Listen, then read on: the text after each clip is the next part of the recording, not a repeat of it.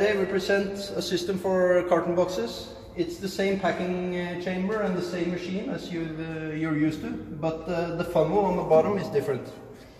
So our uh, designers came up with a clever solution. You have a steel cartridge. You put that into the box.